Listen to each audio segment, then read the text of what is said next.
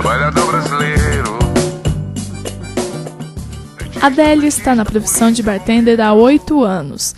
Deixou de lado a carreira na área de hotelaria para se dedicar ao preparo de drinks. O gosto pela atividade surgiu por acaso. Um belo dia é, eu fui fazer um, um, biquinho, né? Numa dessas barraquinhas de, de.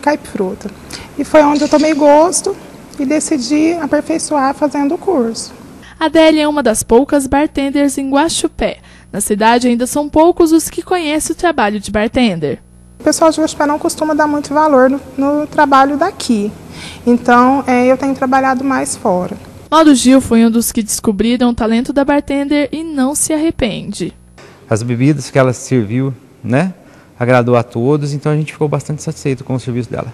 E se você pensa que a profissão de bartender é moleza, está bem enganado. Dependendo da época do ano, a Adélia passa dias em claro para dar conta do trabalho. É, se você pega aí uma festa, tipo duas festas no final de semana seguido, então é 48 horas no ar.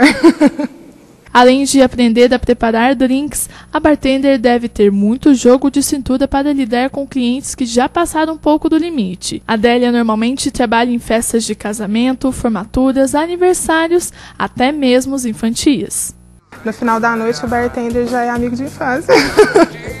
já é amigo de infância de todo mundo. No final da noite, já está todo mundo me chamando de amiguinha, de irmãzinha. e é assim.